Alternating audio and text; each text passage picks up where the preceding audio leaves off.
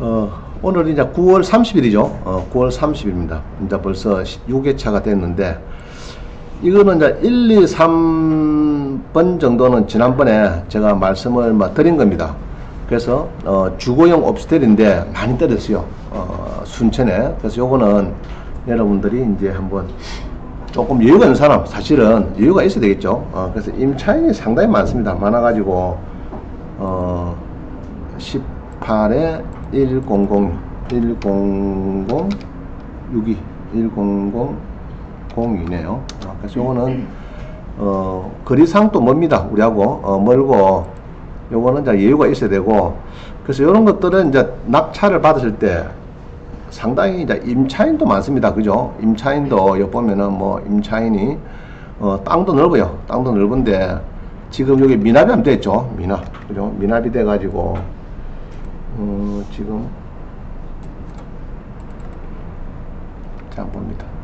이 미납이 이거 다 버렸지? 음. 미납이 안 됐죠. 미납이 됐다 크면은 요 10%가 뛴다 그죠? 8억 4, 8,400이 지금 뛴 겁니다.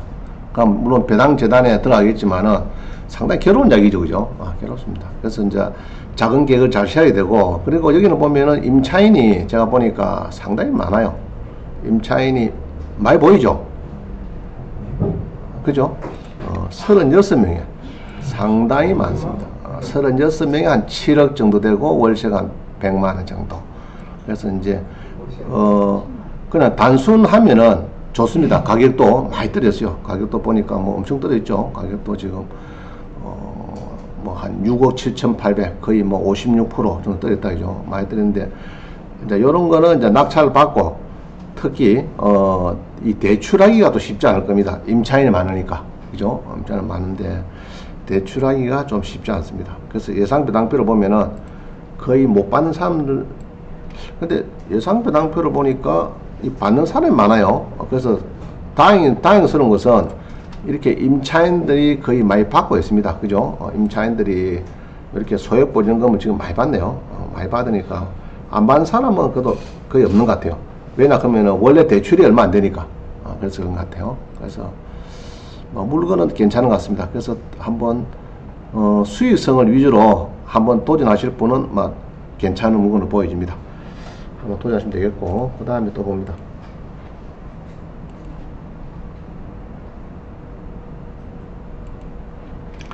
그 다음에 요거는 여겠다 그죠? 어, 26% 떨어집니다. 빌라인데. 5층 꼭대기예요. 어, 꼭대기고 5층인데 26%인데 요런 거는 이제 뭐랄까 막 저렴하게 또 사시는 분도 있어요. 어, 싸게. 어, 또 임차인 중에서는 어제 제가 이제 외국인을 만났습니다. 중국계 어, 한국인인데 그분들은 보증금을 3천을 어, 주는 걸 원해요. 그래서 이제 보증금 500에 월세 25만 원 할게는 25만 원 어렵대요. 자기들 이제 생활하고 써야 되는데 그 큰 돈이래 자기들한테는 25만 원 큰 돈이고 그때 막 보증금으로 올 보증금 3천 원 주겠다 뭐 그런 이야기예요. 그래서 이런 것들은 이제 그런 임차인들이 있으면은 뭐 상당히 좋은 물건이죠. 뭐 오히려 어, 우리 한국에 뭐 외국인들이 한 200만 명이 지금 있다니까 상당히 많아요. 지금 근로자만 해도 한 130만 명 등록된 사람이 외국인들이 그래서 앞으로 생산 인구 감소되는 거는 아마 외국인이 좀 메꿔줄 것 같습니다. 내 느낌에는 외국인이 많이 들어와서 그 자리를 많이 메꾸고 있다 이렇게 보여집니다. 그 다음에 요거는 이제 우리 북향입니다. 북향 북향인데 이거는 부교재 2패장 봅니다. 51% 절반 떨어졌어요. 어, 그래서 많이 떨어졌습니다.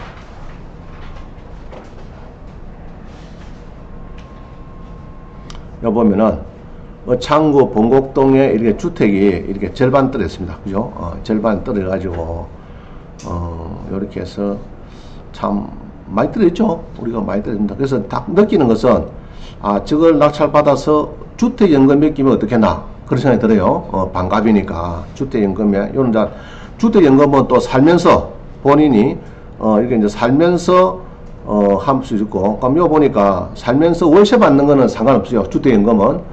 나이가 60살 넘어야 됩니다. 60세 넘고, 살면서 보증금 없는 월세는 무한대 받을 수 있도록 막 그렇게 되어 있습니다. 그래서 주택연금도 앞으로는 나이가 지금 우리가 50대, 50살에 보통 평균 퇴직을 많이 하니까 지금 60세 이하로 내리는 걸로 지금 입법 개정을 하고 있습니다. 준비를 하고 있으니까 어 있는데 지금 절반 사가지고 뭐 감정가로 연금 받는다 그러면 그건 괜찮은 거죠.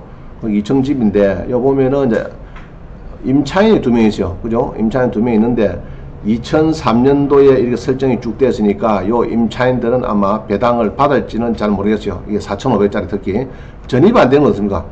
전입 안 된 거는 신경 쓸 거 없죠?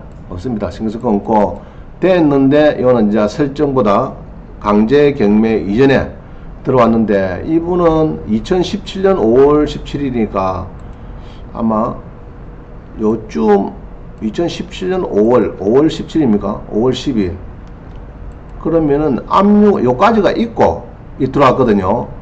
있고 여기에서 이제 이 전입이 들어옵니다. 전입이 어, 들어와가지고 이제 되는데 상당히 어, 이런 거는 좀 피해됩니다. 그죠? 본인 스스로 그죠? 대출이 많고 하면 좀 피해되고 근데 이제 이 금액이 주택에 비해서는 그렇게 많지는 않네요. 잔잔한 금액만 설정했으니까 어, 아마 소액 보정을 받을 것 같습니다. 한번 보겠습니다.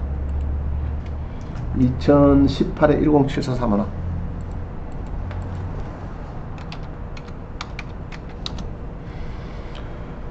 자, 여기 보시면 번곡동에 반 떨었다. 그죠? 어, 반이 떨어가지고 4,500이 임차인이 있습니다. 그래서 우리 구독션에 예상배당표를 누르면 됩니다. 소액보증금은 예전에는 경매 강의에서 소액보증 계산하는 게 거의 뭐 3분의 1 차지해버렸습니다. 근데 지금은 그렇게 없어요. 여기 보니까 이제 쭉 나오죠. 뭐 쭉 나오는데 임차인 입장에서 보면은 그 두 분이 계시는데 거의 뭐 다 받아가네. 그죠? 어, 한 분은 거의 뭐 다 받아. 이분은 이제 아까 전입이 안 됐으니까 아예 없는 거고. 그래서 거의 다 받아가는 걸로 보여집니다. 보기에 다 받아가겠네요.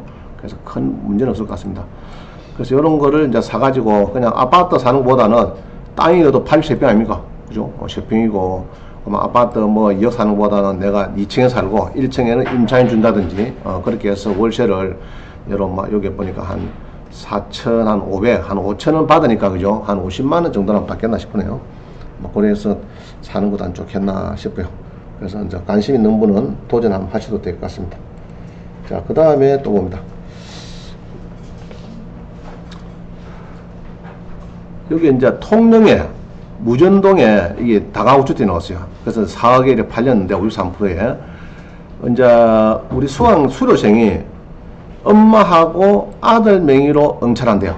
응찰하는데 그럼 두 사람이 공동 명의죠. 명인데 11명 중에서 2등 했다더라고. 11명 중에서 2등 해가지고 입찰 가격을 어 4,060만 원인가 이렇게 막 써냈대요. 이렇게 어 써냈는데 조금 30만 차이죠. 근데 18에 964 구독신에 보니까 그 자료가 없어요.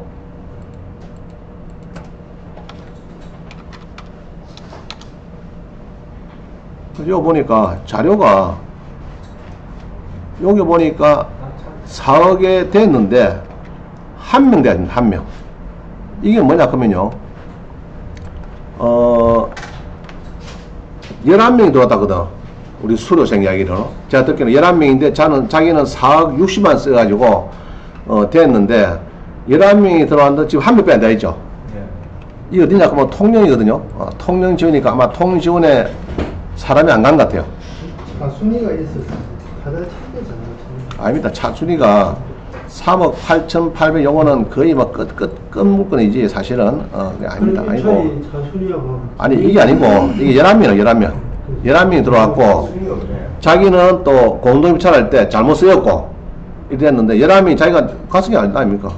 그게 한 명 됐다 하는 것은, 이 이제 통영, 그 먼데 지방 법원은 잘 안 간다고 이게.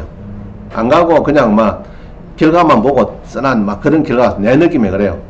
어, 그래서 한 명인데 11명이 들어왔대요. 11명이. 어, 요 물건 11명이 들어왔고, 그래서 많은 사람들이 여기서 지금 뭐 절반 떨어지니까 3차에는 아무도 안 오더니 4차가 되니까 막 11명이 막 붙어가지고 막 낙찰이 되더라. 이 말입니다.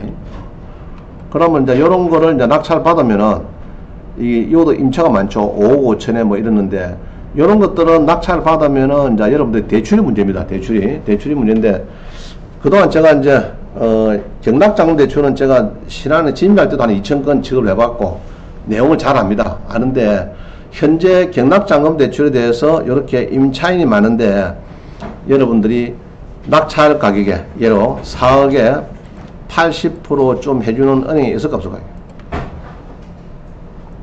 쉽지 않아요. 방빼기 해버리면은 아는데 제가 쭉 참 신협도 안 되고 수협도 안 되고 신한은가도 안 되고 몇 군데도 안 됩니다. 안 되는데 유일하게 농협에서는 경락 잔금 대출이 낙찰 가격의 곱하기 80% 이런 막 지침이 있더라고 제가 보니까 그래서 여러분들 입장에서는 농협의 주변에 문을 두드리면은 상당히 어, 다가구 주택에서는 대출받기가 쉬울 겁니다. 제가 오늘 큰 노 하나 알려줬어요. 백날 다녀보세요. 어디 1급, 6급, 6급은 여러분들 찾는 거못 찾는다고. 어디라고요? 어, 농협. 예, 예. 그래서 농협은 아마 잘하는 것 같아요. 제가 볼 때는 잘하는 것 같습니다. 지금 낙장금 상가에 80%가 아닙니다. 낙찰가에 80%. 낙찰가에 80%. 예, 예. 80%하고 보통은 신탁을 가야 안 하는데 농협에는 그냥 80%하고 방빼기를 안 하고 있습니다. 방빼기 하고 있으니까 상당히 좀 요- 그래서 이제 이런 거 낙찰 받기 전에 미리 농협에 가서 여러분들 언론을 해봐가지고 아시는 주변에 은행에 농협에 가서 언론을 마치고 대출을 딱 매듭을 짓고 가야 됩니다. 요새는 또 뒤에 살려가지고 총부채 원리금 상환 비율이 있어요. 상환 비율이 있는데 그거를 또 무시하고 여러분 낙찰 받아버리면은 소득도 없는데 대출도 안 되고 이런 가지고 또, 이거 또 10%또 3,800 뛴다 이거죠. 그런 거를 미리 준비를 잘 하셔가지고 막 경찰이 되겠다 이렇게 보여집니다.